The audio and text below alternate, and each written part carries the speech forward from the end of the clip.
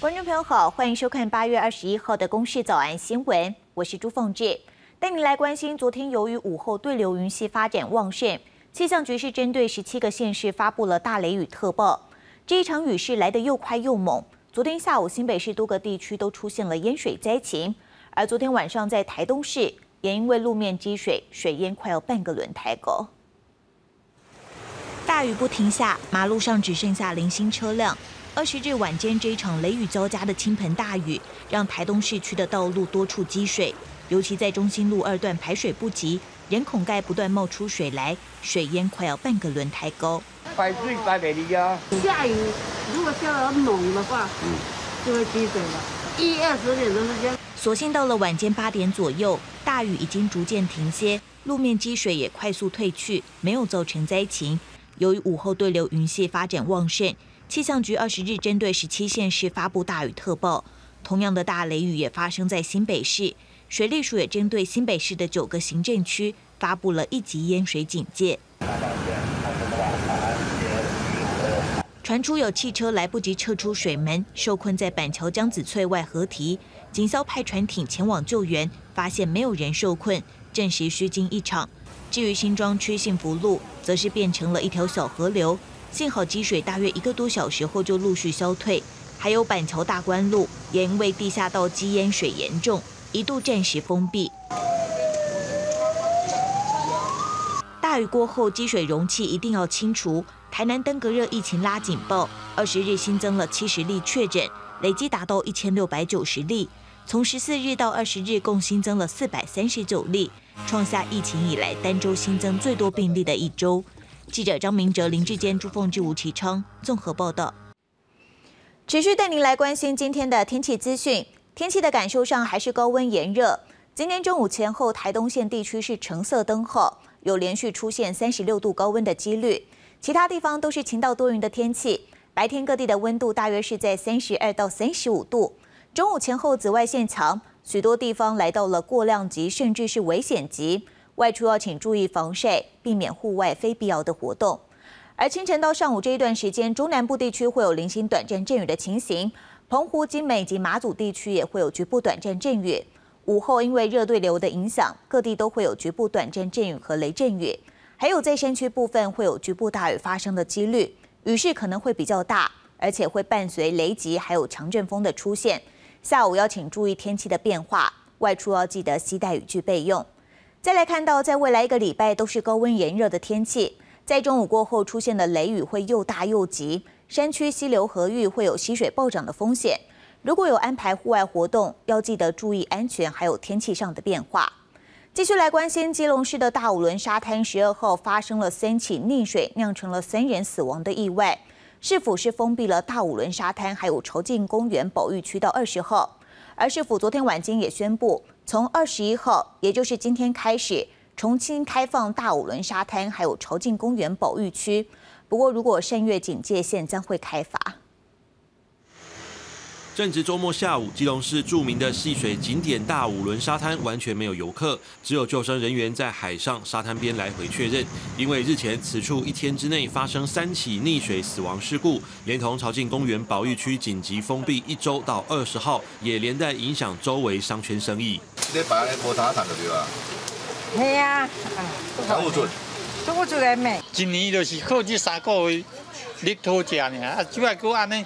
跳困的根本就无人有溺水，这根本就是讲啊，你这人管理的问题，当然是要检讨。店家引颈期盼沙滩恢复开放，但也明白安全第一。市府规划将原本离岸九十公尺的警戒线缩短到五十五公尺，也增加救生人员与救护设施的设置点。基隆市长谢国良到场勘察后，认为应该在内缩，否则对戏水民众还是具有安全疑虑。我现在是怕警戒线，你们说那边会有一百八。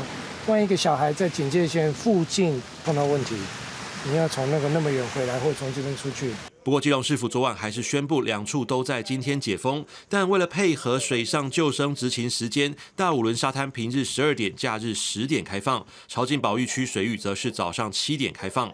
谢国良表示，市府这周会加强在海域两旁设置警戒线，注意救生员配置，无论平日或假日都有四名救生员。呼吁民众重新开放后要遵守在警戒线范围内戏水，劝导不听者会依法开罚。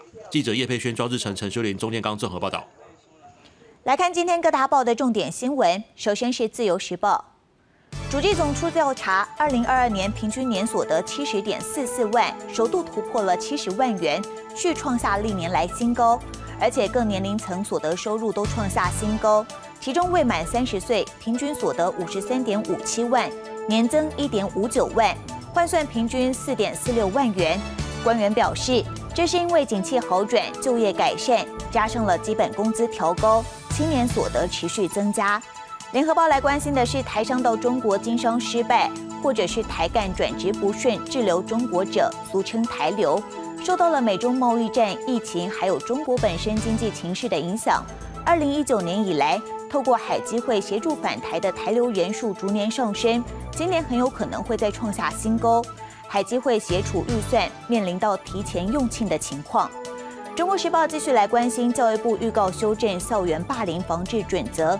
将师对生与生对生调查处理机制分离，同时针对生对生霸凌不再强调持续性，增订严重肢体动作，如暴力行为或是网络侵害，如果超出了一般社会可忍受的程度，即使发生过一次，学校应准用本准则调查处理。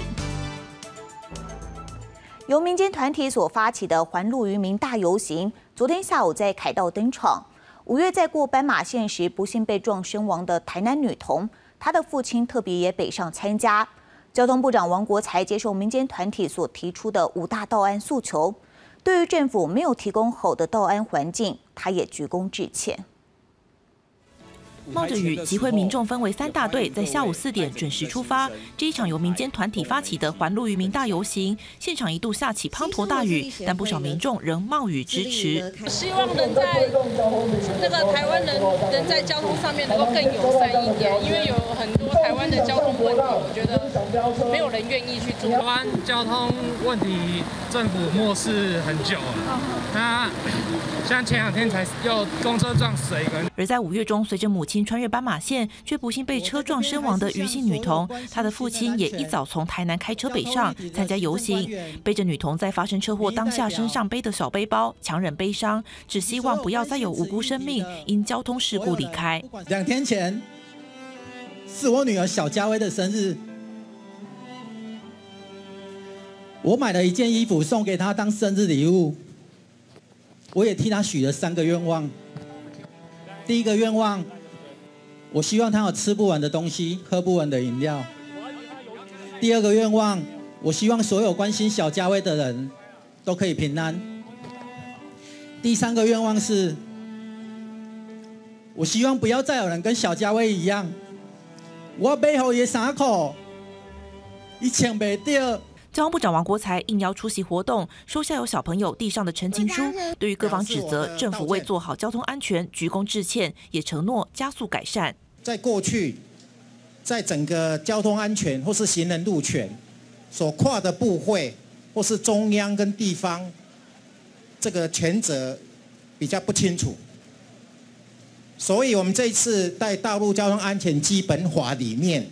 就把它写清楚。像路口瘦身，还有我们的人行道扩拓宽，所以我们觉得这个是目前，因为像台南女童事件之后，一个月内路口就有做改善了，所以我们相信在这个路口改善的呃这个计划，应该是能够最快进呃短期内能够最快做到的。行人零死亡推动联盟强烈谴责现行人本交通工程缺乏，呼吁执政者展现决心和魄力，改革整体交通环境，希望在二零三零年让道路行人死伤人数减半。并在二零四零年可达到行人零死亡的目标。游行活动只是开始，未来将继续监督道安政策是否落实。记者薛家秋在台报道。谢谢。这一场环路渔民大游行，各政党的总统参选人以及红海创办人郭台铭全部都有出席。赖清德提出三大承诺，希望能够达成二零四零年行人零死亡的目标。而侯友谊则是喊话，要摆脱行人地狱，找回行人的尊严和快乐。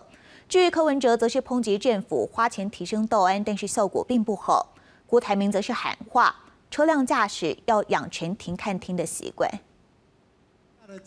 天空下着大雨，各党总统参选人应邀出席环路渔民游行活动，力拼道路安全政策。民进党赖清德强调将秉持以人为本、智慧科技两大原则，还提出三大承诺，盼达成二零四零年行人零死亡的目标。预计在二零三零年将死亡能够降低百分之五十，到二零四零年的时候，结合社会各界的力量，能够达到零死亡这样的目标。民众党柯文哲批评政府面对问题做事方法都是傻逼，道路交通安全不应当是口号。面对问题，这样哦，当今政府也不可能不做事，只是说我说他们的方法从来就是傻逼的。推动那个第十三期道安方案呢，花了十二亿，这个钱花下去以后哈，车祸死亡人数反而比。执行之前还高啊！国民党侯友谊表示，台湾交通安全挑战严峻，喊话找回行人尊严与快乐。红海创办人郭台铭则以自己散步差点被大型车辆撞到为例，呼吁车辆驾驶要养成停看听的习惯。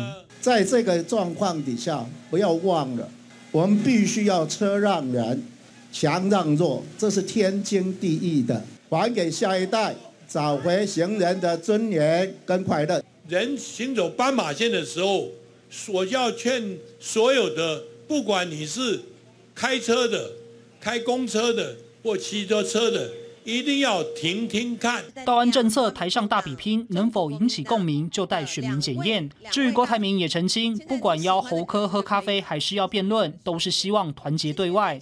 更以此局牵涉美中和经济，再向柯文哲隔空喊话。识时务者为俊杰，被视为仍不放弃郭科配空间。记者林志坚、欧荣、陈柏宇综合报道。昨天下午，疑似雨势过大，台北市万华区昆明街三百二十巷一处新建案的工地路面塌陷，出现了大约一辆汽车深的坑洞。公务局目前已经灌浆回填，不过这也已经是台北市在最近一百天以来出现的第五个天坑。有议员就质疑，为何类似的状况会一再出现？新建工地路面下陷长三公尺、宽两公尺，以及深度一点五公尺，大约一辆汽车车身，无人受伤。台北市万华区昆明街二十号下午发生了自五月以来的第五个天坑，已经灌浆回填。而第四个天坑则是发生在十九号晚上，台北市民生东路二段一百五十九巷口路面出现了一个长宽深各约一公尺的坑洞，路过的机车甚至差点掉进去。台北市新工处表示。主因是路旁水沟底破损，造成了泥沙冲刷，进而掏空路面。水利处后续也将进行沟底修复，但是附近居民仍有些担心。如果骑车的人开太快，因为那是算是转弯的那个半径里面嘛，你可能会塞到。因为从中部上来，其实看到台北市这一阵子有陆陆续续看到，其实也不是第一次觉得。好像是稀松平常的事情一样。台北市近期接二连三出现天坑，五月第一起发生在信义区崇德街，判定是临近建商施工不慎。上个月大同区南京西路马路两度下陷，归因于污水管破洞。前两天在南港区，则是因为排水箱连接涵管脱管，导致地面下陷，让议员质疑台北市今年道路养护预算超过二十亿。为何道路品质还是不合格？路面品质我们可以确保是一个没有问题的。那如果说遇到有任何管线造成我们路面掏空或破损的情形，我们就会立刻进来做一个开挖，做一个紧急的处理。公务局回应，已经拟定了相关防范措施，将会加强定期道路巡查。水利处也会重点巡视管路、三涵，多管齐下，要避免天坑状况再度发生。记者叶佩轩、庄志成台北报道。嘉义新港昨天凌晨两点多，有一处民宅传出了火警，造成老老相依为命的母子一死一重伤。而台湾在二零二五年就要迈入超高龄社会，类似这样子老人照顾老人的个案也会逐渐增加。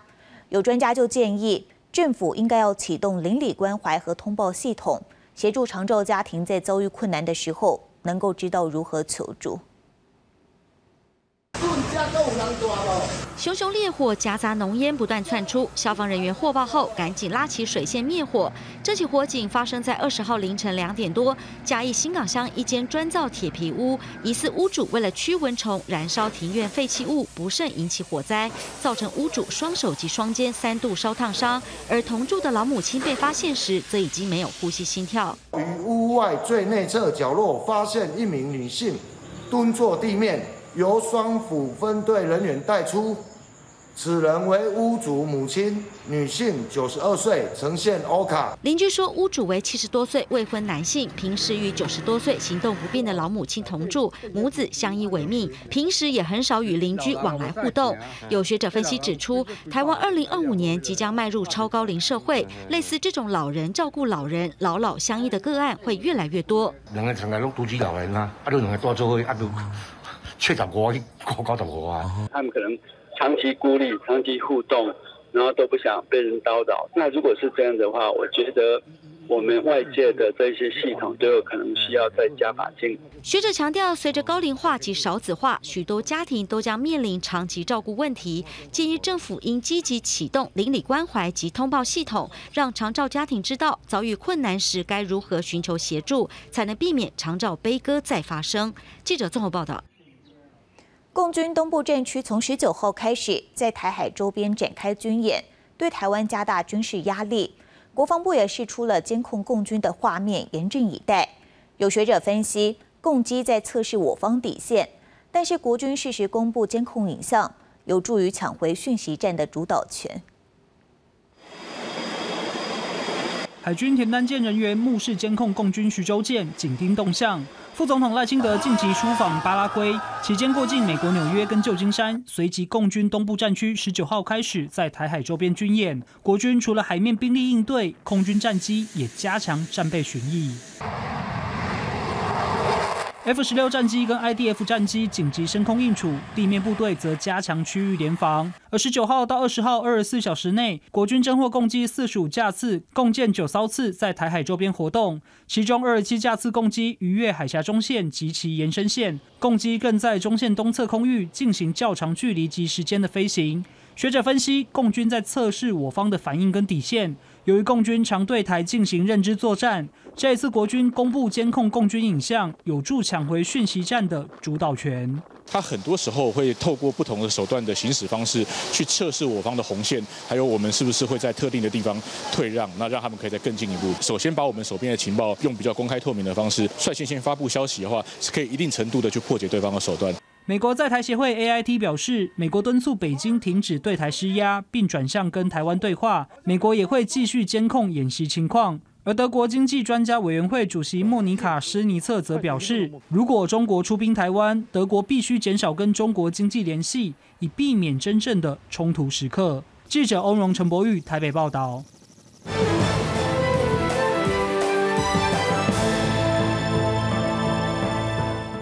地球正在大肆燃烧，加拿大还有西班牙野火持续恶化，美国华盛顿州已经一死，另外希腊的强风则是助长了火难灭。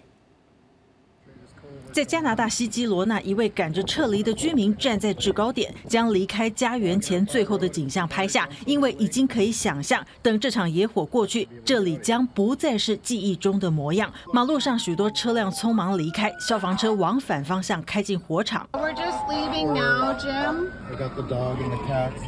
Can we? Where can we go? I don't even know. 这场野火正在于十八号宣布进入紧急状态的卑诗省南部城市基罗纳，靠近美国北方边界燃烧。官员表示，目前有两场巨大且快速移动的野火在一夜之间合二为一，正威胁着数百栋房屋。全省目前有三万人勒令撤离，另外有三点六万人一旦收到通知就必须马上离开。加拿大正面临史上最严重野火季，已有超过一千四百万公顷土地被烧毁，面积跟希腊差不多大。美国华盛顿州野火自十八号开始烧起，并快速移动，至今持续肆虐，已烧毁近一万八千九百英亩的土地。另外，根据当地媒体报道，约有一百九十栋建筑在大火中烧毁，并有人不幸死亡。当局已向临近斯波坎社区发出撤离令。西班牙加纳利群岛中最大的田尼利夫岛野火仍未获得控制，已经影响到十座城镇。但为预防，当局疏散十一城镇居民，启用一座体育馆当作避难所。这场大火最初是在十六号因该国最高的泰德峰周边一个国家公园爆发，并已迫使一点二万人撤离。希腊东北部强风使得大面积野火失控，八村庄居民撤离。消防员表示，阵风达到七至八级，这将会是个难熬的夜晚。这起野火一开始是在十九号于亚历山德鲁波利斯镇以东的梅利亚村引发，产生的浓烟几乎令人窒息，也影响到能见度。机场进入高度警戒，当局部署海岸船只，必要时协助撤离。公视新闻黄月玲编译。俄乌战争还没有平息。俄罗斯在十九后以飞弹攻击乌克兰的北部城市切尔尼戈夫，而因为当时有不少人是在街道上走路，准备要参加教会的活动，所以至少造成了七人死亡，还有一百四十四个人受伤。这也让乌克兰总统泽伦斯基谴责俄罗斯的攻击太卑鄙。剧院前停放的车辆车窗受到冲击震碎，往前走去，建筑的残骸散落满地。乌克兰北部城市切尔尼戈夫十九号遭到俄罗斯的飞弹攻击。由于飞弹攻击城市中心广场时，有许多人正在前往附近的教会，准备参加节庆活动，因此死亡与受伤人数超过一百人。Сидела на рабочем, была на рабочем месте, и за секунду взрыв, и плита упала мне на голову. Я была со своей подружкой. Она зашла просто в гости на пять минут ко мне.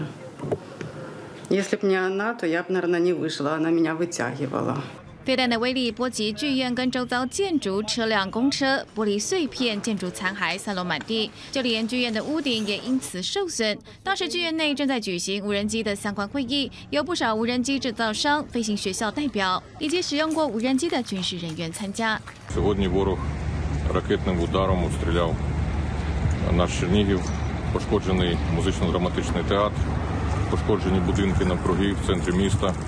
Станом на цю годину ми маємо сім загиблих, в тому числі одна дитина. 在瑞典进行外交访问的乌克兰总统泽伦斯基谴责俄罗斯的袭击邪恶卑鄙。乌克兰内政部长克雷曼科则表示，在飞弹击中广场前的几分钟，空袭警报就已经响起，让街上跟剧院中的民众紧急到防空洞避难，才躲开这场攻击，否则死伤人数将可能更多。国人新闻陈胜编译。西非国家尼日在七月下旬发动了军事政变之后，西非经济共和体曾经一度表示。不排除要出兵恢复尼日的宪政秩序，而尼日的政变领导人蒂亚宁将军是发表了演讲，特别强调权力过渡最长不会超过三年，也呼吁抵达尼日的西非经济共和体代表团不要用武力干涉。这是七月二十六号，尼日发生军事政变之后，总统贝佐姆的支持者要求军方放人。十国国家组成的西非国家经济共同体还一度在奈及利亚召开紧急峰会，不排除出兵恢复尼日的宪政秩序。但尼日政变领导人蒂亚尼将军态度强硬，发表了长达十二分钟的演讲，批评遭到西非经共体的非法不人道制裁，宣布将展开为期三十天的全国对话，以提出具体建议，为新宪政生活奠定基础。表示这场。权力过渡不会超过三年。s'attelleront dans un délai de 30 jours à formuler des propositions concrètes devant conduire 1. à définir les principes fondamentaux devant régir notre transition. 2. À définir la priorité de la transition dont la durée ne saurait aller au-delà de trois ans. 由于西非经共体的代表团已经抵达尼日，决定透过最后的外交手段会见受到罢黜的总统贝佐姆，再决定是否采取军事行动。对此，蒂亚尼也喊话强调，如果有人企图要发动攻击，将不会像有些人想的那么简单。Je affirme ici que notre ambition n'est pas de confisquer le pouvoir. Je réaffirme aussi notre disponibilité à tout dialogue pour autant qu'il tienne compte des orientations voulues par le peuple nigérien fier et résilient. 而在西非经共体日前表态不排除动武之后，尼日当地十九号也有数千名的志愿民众前往首都登记为非军事后勤人员，以预防届时真正爆发军事冲突。工人新闻陈胜编译。俄乌战争导致全球天然气价格飙涨，也迫使欧洲国家必须要寻求替代方案。英国在政府的补贴政策之下，今年包括是太阳能光电板等设施安装率都大幅的增加。另外，德国更是打算通过立法，强制二零二四年逐步淘汰天然气。根据英国微型发电产品验证机构 MFC 的统计，在英国政府的补贴奖励下，英国的家庭跟企业今年已安装超过十二万片的光电板，而取代天然气发电的热泵装置也以每个月三千套的速度成长，比去年增加了百分之六十二，民众的电费负担也大幅减轻。Our electricity consumption costs have dropped like a stone. We're going green, saving our planet. We've also got electric car. 为了鼓励民众安装光电板与热泵，英国政府对英格兰跟苏格兰地区的民众分别补贴高达二十四万到三十六万台币。英国政府希望到西元二零三五年，光电发电总量能达到七百亿瓦，同时在二零二八年热泵的安装能达到六十万套，并在二零五零年达到零碳排。但即使英国政府大力补贴，但对许多民众而言，进阶到绿能依旧是庞大负担，而且安装工程至少需要五万名劳工。要如期完成零碳排的目标，难度还是很高。A close look at those figures. It's going to be people who are that bit wealthier. They are not the households that are struggling the most with the cost of living crisis. 据德国，为了面对气候暖化效应，也摆脱对天然气的依赖，政府正在推动建筑物能源法，也就是在二零二四年以后新建的建筑只能使用热泵来发电取暖，完全禁用天然气锅炉来加热发电。民众为了这项重大绿能变革，让原本安装热泵的公司忙到焦头烂额，安装要等上九到十二个月，而且价格还相当惊人。Because of inflation, the cost of materials has risen significantly. Customers who want to switch to a heat pump system can expect installation costs of around twenty to thirty thousand dollars, depending on the device. A lot of people in Germany expected the reform to be something where you tick a box and you get a green reform, and now they suddenly realize that it comes with a lot of uncertainties, it comes with personal costs. 热泵的原理跟冰箱类似，只是输出的是热能。 也需要类似冷媒的媒介物质氢氟烯烃化合物，但按照德国的新法，到时候德国全国的新建筑能源消耗必须有百分之六十五以上使用再生能源，而新的热泵将禁用氢氟烯烃，而要改用丙烷跟二氧化碳等温室气体排放较低，但这也有违反欧洲单一市场原则的疑虑，加上民众的庞大负担，法案今年秋天要在国会通过，势必将面临极大阻碍。绿能固然是各国努力的方向。但过程却充满太多变数。公视新闻卷请编译。天气热加上鸡只淘汰的影响，国内的鸡蛋产量还没有回稳。目前每天的供应缺口有将近两百万颗，而全国中小学就快要开学了，学校即将要供应营养午餐，蛋农也要求要调整蛋价。蛋商和养鸡协会预计要在二十六号开会讨论蛋价是不是要调整。鸡蛋在很多人的生活中不可或缺，尤其是还在成长的学生。全国中小学就要开学，但现在传出国内鸡蛋供应仍有缺口，营养午餐用蛋可能受到影响。农业部畜牧师强调，因为有安全库存，供应不会出问题。开学的时候以后的需求会比较多，但是因为我们现在都有呃六千万颗的安全库存量，滚动的库存量，所以。整个需求是够的。如果蛋贵，当然会影响传山业者跟学校的使用意愿。嗯，农业部上上次的做法是用进口蛋来让市场的需求先满足，那可以有所谓的国产蛋可以调拨给团山业者做使用。农业部公布鸡蛋每日生产量维持十一万三千五百箱，不过蛋鸡协会估算，实际日产量约只有十万多箱左右，每日供应缺口仍有约一万箱，官方和民间统计有落差。另外，因为蛋鸡饲养成本增加，蛋商与养鸡协会预计在二十六号开会讨论蛋价调涨事宜。有蛋农表示，其实价格早该调涨，但每次蛋农和蛋商提出调涨需求，农业部就会施压，要求冻涨。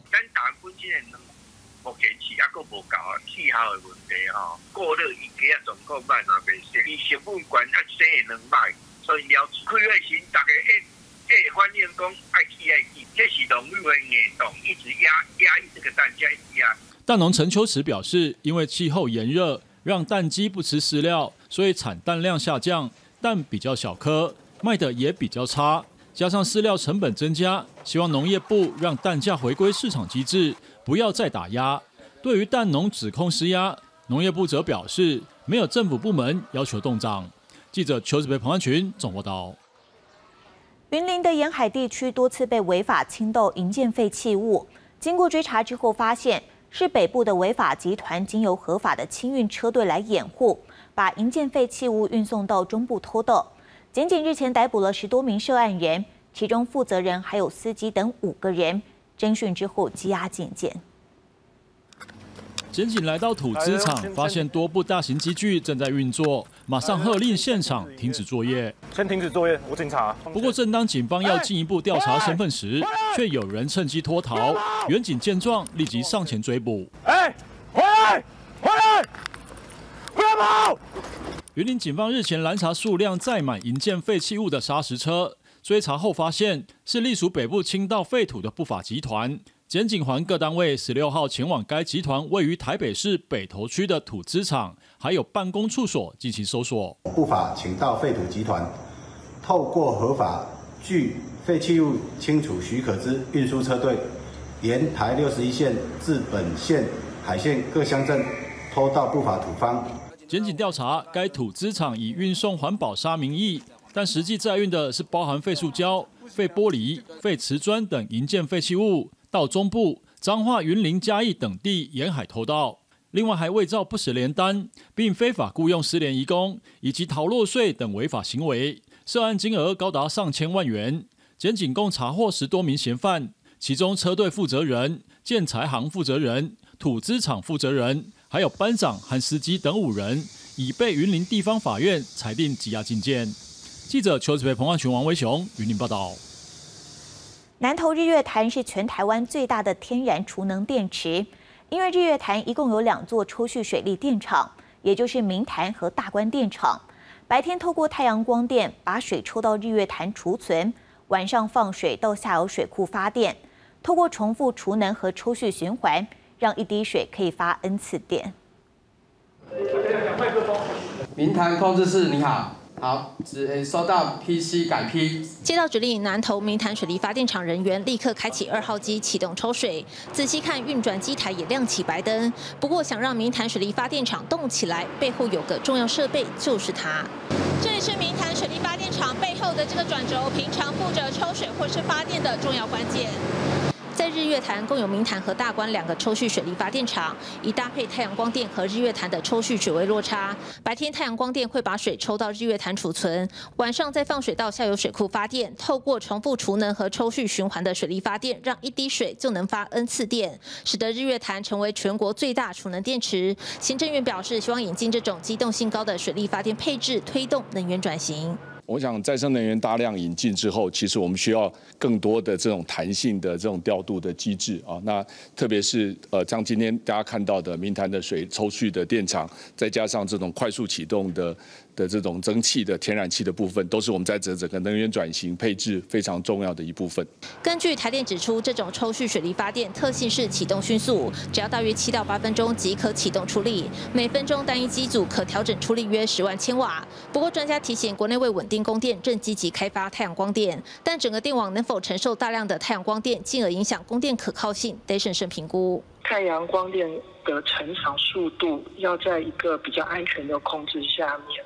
我想，过去政府在规划的时候，可能它有它的目标。我们在评估上是认为它有一些可能会来不及，就是电我们台湾电网不太能够承受这么大的太阳光电。我们有十部机组，我们可以配合系统白天的一个这个呃弹性的需求或夜间峰的一个需求，我们都来做调度。还有一个大甲溪的一个灌肠水利，这个大概也有一百多万千瓦，都可以整做整体的调度。所以我们对。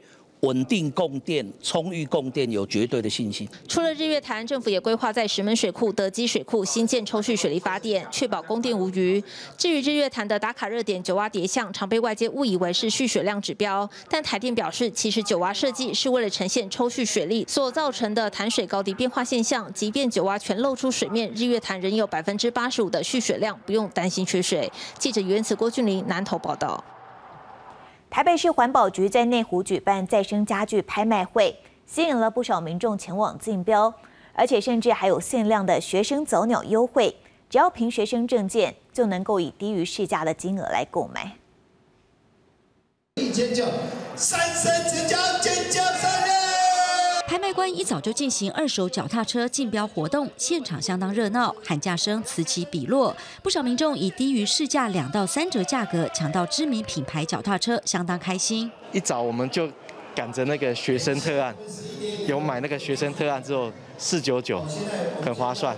台北市环保局二十号上午在内湖举办再生家具拍卖会，有上千件脚踏车、书桌、衣橱等供民众竞标选购，还有限量学生早鸟优惠，只要凭学生证件就能以定价两百到两千五百元，不需竞价直接购买。我们想要丢掉一些椅子，然后就顺便来买，因为我觉得这样蛮好的，不用再去买新的，不用浪费。本次拍卖会最特别的包括一件三零年代乌心石衣橱，源自一位日本来台居。住女裁缝师因为年纪大要返乡，忍痛割爱。还有一件五零年代快木衣橱，最后两件都顺利拍卖出去。那环保局也不失大家所望啊！我们回来之后可以整修哦，然后可以再使用的话，我们就拿来，然后会低市价很多的钱，然后来。卖给市民。台北市环保局强调，近年来民众丢弃后再回收修复的家具累计近二十二万件。为了因应全球近零趋势，鼓励民众多选购再生家具，既环保减碳又能省荷包。记者赖淑明、蒋龙祥台报道。布利台东医院的行动眼科诊间最近首度前往绿岛为早疗儿童进行视力筛检，不过从七名儿童里就筛检出六名视力异常需要治疗。但是离岛没有眼科医师，当地民众就希望能够争取到医生到离岛度假医疗。卫福部台东医院的眼科团队这个周末带着行动验光和眼底镜等医疗整间的九成器材进入绿岛，配合台东县社会处儿童发展筛检计划，为绿岛三十名报名参加视力筛检的儿童检查视力。医疗团队利用各种辅助的玩具吸引儿童接受视力检查。结果在七名发展迟缓儿童中，就筛检出六名视力异常。不过医师担心，应该还有更多早疗儿童视力障碍还没有被发现。在绿岛的早疗儿童应该有二十位，那可是今天来报名的只有六名，所以我们要再协许另外十四位的客儿。但绿岛没有眼科专科医师，眼睛的重大疾病都要到台东才能接受治疗，很不方便。绿岛的民众希望政府能增加眼科医师到绿岛医疗。用卫生局而已嘛，卫生所而已嘛。医师哈能够来绿岛休假，然后边看诊的话，这样子的话，我们可能我们绿岛。的医疗可能就大要升了哈。台东县卫生局表示，县府已经引进偏向离岛远距医疗服务，也包含眼科。另外，离岛也有巡回医疗医师进驻，但当地民众还有需求，县府会在争取更多医疗人力到离岛为民众服务。记者张明哲台东报道。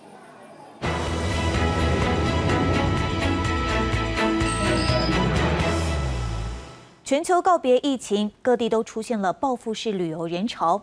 名列联合国世界文化遗产城市的比利时运河古城布鲁日，在疫情之前每年都吸引了八百万人到访。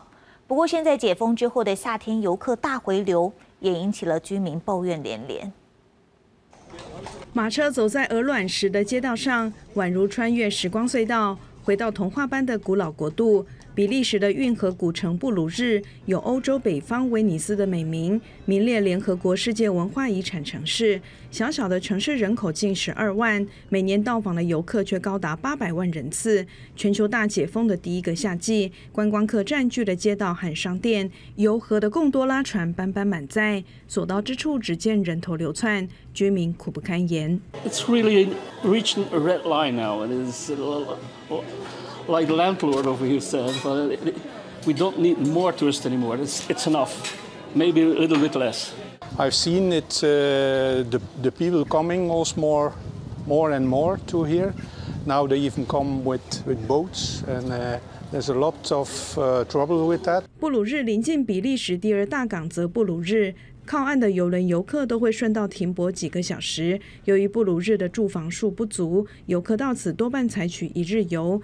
来自欧美亚各大洲的观光人潮络绎不绝，频频造成乱象。I didn't thought that this much people would be here.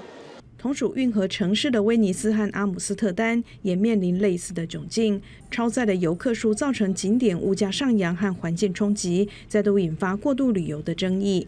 国际订房网站哈勒读以居民和游客比例为指标进行调查。二零二二年全球旅游超载第一名的城市是克罗埃西亚的杜布罗夫尼克，是美剧《权力游戏：冰与火之歌》的拍摄地，居民和游客比为一比三十六。威尼斯和布鲁日同列第二，居民和游客的比例为一比二十一。阿姆斯特丹市议会七月跟随巴塞隆纳、威尼斯等城市的脚步，通过禁止游轮靠岸的提案，以减少游客的数量。联合国教科文组织甚至建议将威尼斯列为濒危世界遗产的名单，避免气候变迁和过度旅游加速破坏城市的生态。It's important that you pledge to be respectful of the local people and its and their culture while staying in their destination.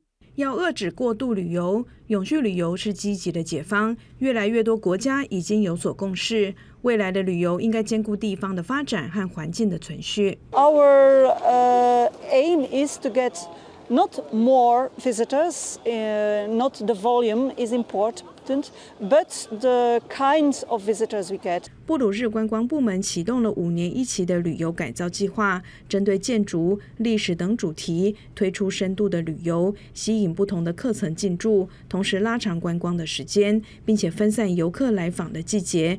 能否改变观光客夏季出游的旅游习惯，还有待观察。而住房数不足是目前更棘手的问题，还有待跨部会协商寻求解套。公司新闻张淑芬编译。我们一起来关心今天各地的天气预报资料。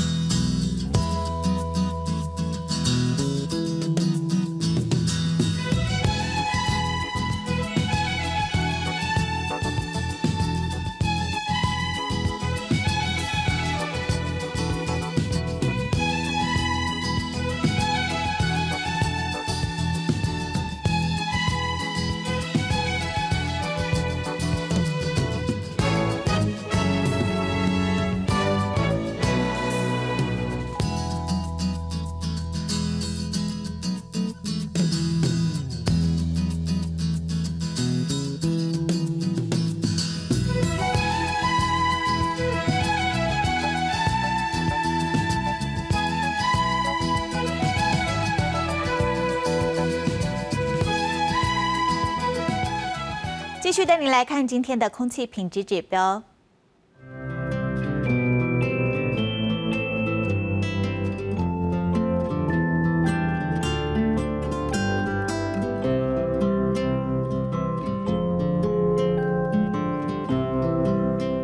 感谢您收看这一节的《公视早安新闻》，我是朱凤志，我们明天再会。